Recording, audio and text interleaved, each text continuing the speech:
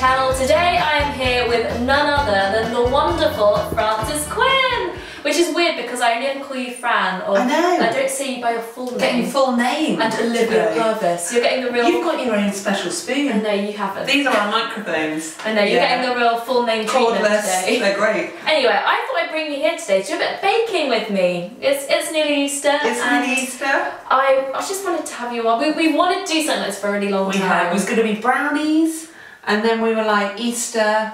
Let's do little. little like- egg cakes. We're actually referring to your your book, No Self Promo. I bring one everywhere with me. so where are we getting this recipe from? we're getting it from page. I don't know what the pages look. What's the page? It's 99. 99. There's no flake in it. Oh. Oh wow. but yeah, you may recognise Fran from, I don't know, there's a baking show you did. I could just keep this on my head. Then Yeah. I can't even put it in my head.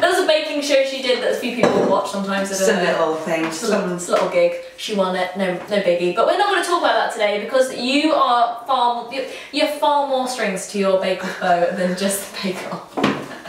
so we're not going to mention that today. Well, yeah, that's. we're going to talk about all your amazing baking designs because, as well as baking, you're an incredible designer. You're just. She's bloody talented. If there's ever someone that can do it all, It's not it's me. you. come on in, come on in, if Shirley. there's anyone that can do it all, it's our special guest. No, it's you. But today we're going to be doing these fried egg cakes. They're gorgeous little cupcakes, and yeah, you, you tell me about them. They are super easy. Should we? Should we go through? Let's go through. What do you need for these cakes? So you need now. Normally, you'd only need one egg to 50 grams of everything.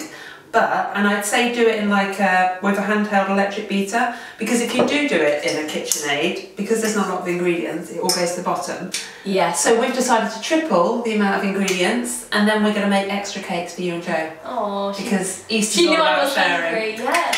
Oh. So we're going to put in here 150 grams of softened butter. Look at these posh spoons. Softened from, uh, from IKEA. Softened butter. Oh, from IKEA. Those Swedes, it they, know, they know what they're doing. Uh, it's gone in there Oh. beautifully. 150 grams of butter, and then the same weight, 150 grams of caster sugar. Do you want to do that now? Oh yes. Because it's please. teamwork. Woo! Perfectly done there. Couldn't have done any better. And then we're going to put it in your lovely. What what colour? Is this pistachio? I'd say it was pistachio. Beautiful, beautiful. Thanks. Right. I never use this attachment either, so if you do have a, a KitchenAid or a mixer, it was not the one I expected No, it's the using. beater. Start off slow because we don't Slow want it to down. slow down, and then remix up. MJ, it's thriller time in here. If it does start to go up the side of the bowls, these are a godsend in the kitchen. These are like a silicon spatula. I thought you were going to make a joke. These are like a silicon spatula. I was like, that's what that's what That's it what is. it is. So sometimes that happens. So just get it from around the side of the bowl, and then It smells like fairy cakes. carry on MJing it. Come on. That's beating it. I feel like we're like the hairy bikers and things like that. There's always one that has to clarify the joke. I'm glad you're here. These are also a godsend in the kitchen. That is amazing. Yeah, it's like a really because you get loads of like really good zest off. So do you want to have a go with that then? I'd love to. We're zesting three lemons in. Now, if you were making just the 50 gram approach, you just do one lemon. So we're 50 grams tripling of- everything. We're tripling it, so we're going to be here for an hour and a half. I had to zest 24 flipping lemons for the final wedding cake on that show. Oh my god. Yeah, it took a while. But it was an amazing bake though. Also, we should talk about your um, baking playlists you're doing at the moment because they are amazing. Featuring MJ. Yeah, I mean, if you didn't already know, if you don't follow Frances, A, go and follow her, B, she does these amazing baking playlists. So I'm a real playlist person when I'm in the kitchen. You, I know we've been sharing. we like to have six stuff. oh, I'm really I can't, at I can't. this. Oh no. Shall I? Is there a technique? I love because some people do do it that way. I tend to do it over the top. Oh, not, mean- oh, not like over the top. God, you're over the top with your lemons. I mean, it's like it's like Oh, oh, this- Bake Off doing oh, this. This is all I did. This is a technical challenge in itself. It really is. So I wanted to talk about your playlist. So I'm a real music person in the kitchen. I always have Six Music on or Gold Radio. I've been, yeah, been listening to Trip the Gold in there, so we're getting all this. Oh, so good. But you you make a lot of playlists which kind of tie in the elements of the bake you're doing. And I, how, how do you get ideas for that? I, I, I've always got music on in the kitchen because how do you find your artists? It's weird. Sometimes like they always leapfrog onto other ones, but I like the idea of a baking playlist. Yeah. So if you think about it, like say a cake takes about sort of it can take anything from between 25 minutes, 45 minutes to get it in the oven. Yeah. But obviously there's different stages. Like when you're beating that, you want more of a fast-paced piece Yeah. of music. Yeah. When you're doing something like folding in the flour, you want something a bit more laid back. Yeah. Um, so it's all about the baking remix. Ooh. And then you can like, because I'm really guilty for puns and whatever else. So then it's choosing tracks that, like, I don't know if you've noticed that. No, I haven't. No, sure. yeah, that um, play alongside it. So you want a bit of brown sugar. You can have a bit of. There's so many tracks that lead into it all. What do you have right maybe, now? maybe we're gonna have to put a playlist together for this. I think we should maybe have it along the bottom to say what kind of songs would be most oh appropriate. god, yeah, like uh, lemon jelly, um, The Lemonheads. lemon The heads, lemon heads. lemon U2. So we're gonna use the juice of one of them to go in the cake mixture Yeah. to keep it moist. Oh. What That word that everyone hates. So we're adding all the zest of the lemon into the cream butter and sugar mixture to make a zesty. That's creamed butter, not cream and butter. Cre- yeah, that's right. We haven't got double cream on in here. It's a shape. Get a little bit there. We're not very synchronised here. And now what we're gonna do? We're gonna we're gonna crack the eggs. Crack the eggs. Oh yeah, crack me up.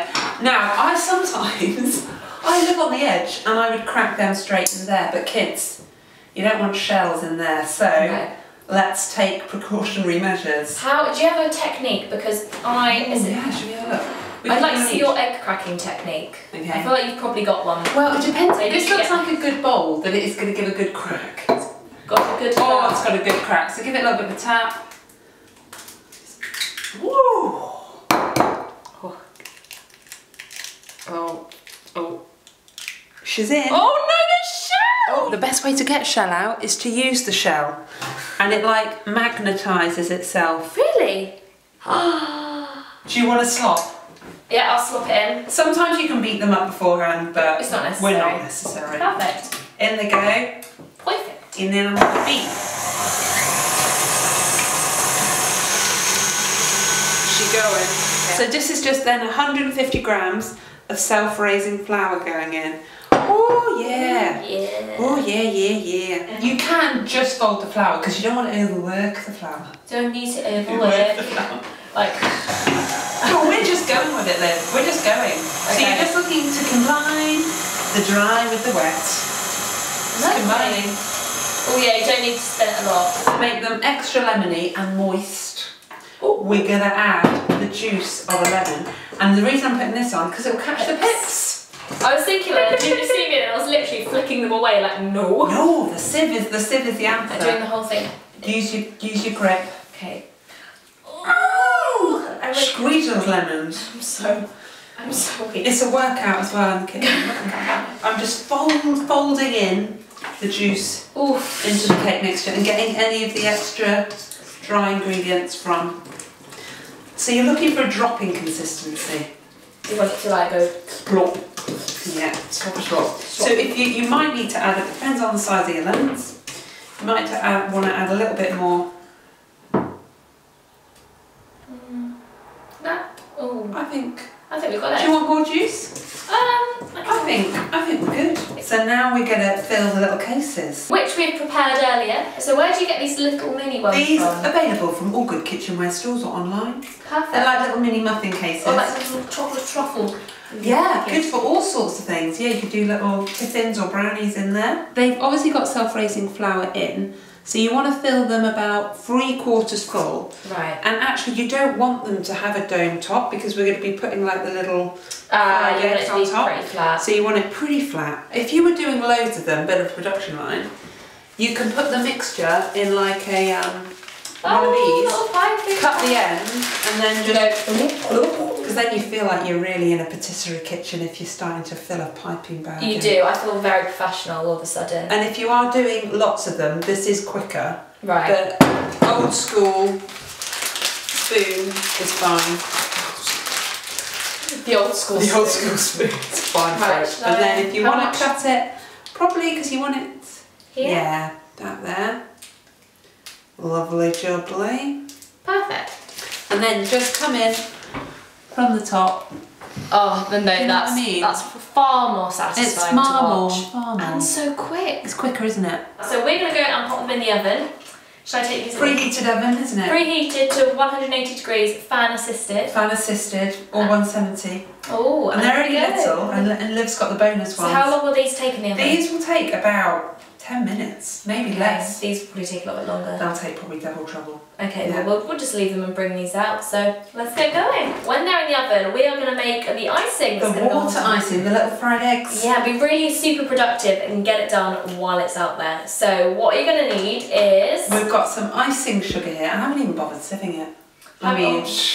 What, what if you've got real big clumps in there, then I would say give it a bit of a sieve. a little pat. And then rather than just use normal water, we're going to use the juice of the lemons that we zested, so they're extra zingy.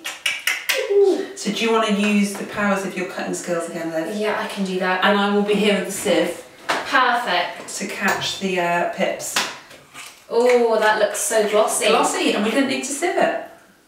So there you go. Amazing. So that was really quick. Super quick. So that's ready now, and then we've got some orange curd, which you could handmade. You could, there is a recipe in the book. It is really quick, but I've used orange curd rather than lemon, so the yolks, they're those free range. Free range Free range. yolks. If you want to have battery hen eggs, use lemon. No, I'm joking.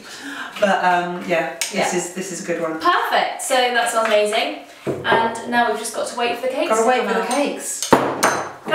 Come on, cup of tea. Yeah. And here they are. Here she comes. Ooh, look at you've been busy. I have been busy. They've cooled. We threw them in the garden to We cool did. down. Honestly, it's a really good tip, guys. At this time of year, But we are now going to ice them. We're running out of light, but you know, we're going to do it. We're going to do it. This shouldn't take long. on. Bakers, we've got 10 minutes remaining, The great thing is, every fried egg's a bit different. So all you want to do, as one knows. as one knows well, so coming close. just a little dollop. I always have loads of latte sticks in my kitchen at home, and just use that to sort of help spruce around. So do a few. I mean, I'd even say you could just use that. the latte stick, The latte stick. That sounds fat. I just call them a stirrer. a stirrer, Oh, a little latte, a little stirrer. I thought that sounds a bit fancy. Oh wow, that first egg has gone. There you see, he's he's. I mean, you're getting your money's worth if you got him at a brunch place. So maybe go down the wooden stirrer or latte stick approach. You see, some of them have risen up, so you want the ones These that ones have got we like just a. we take away and uh, we, we just eat those. we dispose They're they're very good to dispose of. Mm. And then we've got a bit of curd, Mm. a little yolk. They truly are dippy eggs. If you were just doing the cakes as well, and you don't want to make them into little fried egg cakes, then you could mix a bit of the extra lemon juice with a bit of caster sugar and make a bit of a drizzle top. So Mini that lemon drizzle mini cakes. lemon drizzle. You're full of great ideas. Knock it back. Knock it back. Knock it back. So we're just going to carry on doing this. You can do it whichever way you like. So you can either, sorry, you quite- can either do the whole thing. I'm quite liking the poached egg approach. Yeah, and then you just add it on to the top of your a bit of um, curd.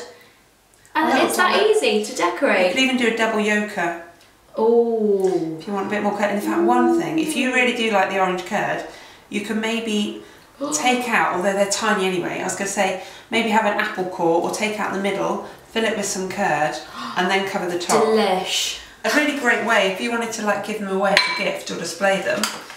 The egg box Such a cute idea. is the perfect little. So adorable. So you've got eggs in an egg box Imagine receiving that. At Easter. And they're so simple as well, but they look really impressive. And so you get loads of them. You could have a whole dozen box, and if you wanted to, you could put a sticker on and make them bespoke. Amazing. Free range cakes by Liv And Fran. and Fran. High five. Woo! And that's a wrap. um, I really hope you enjoyed this video and baking along with us. You could bake along actually. Could bake along. Oh. Tell us what you've been listening to. Yeah, Bill tell us- MJ. Yep. Or anything else. and um, yeah, I really hope you enjoyed it. If you like this, let us know if you'd like to see if you'd like to do. Maybe do another one for another season. Brownies. Brownies, Auburn brownies. But yeah, we've had such a lovely time. Thank you so Oh, much for coming. Happy Easter, everyone. Happy Easter. Hope you eat lots of chocolate and rest and spend time with your loved ones and all of those important messages. And yeah. They do need to give it a thumbs up, don't they? Yeah. Not even on YouTube, but I know they need to give it a thumbs You up. You know, you know, and go and check Fran out if you don't. I'm sure you do because she's amazing. If you don't, go and check her out, and I will see you next week. Bye. Bye.